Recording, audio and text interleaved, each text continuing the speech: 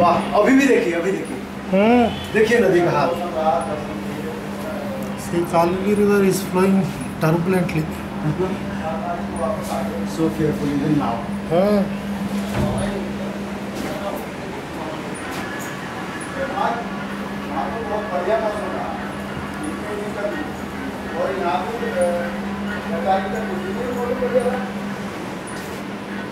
So this is Drachula in which we are staying.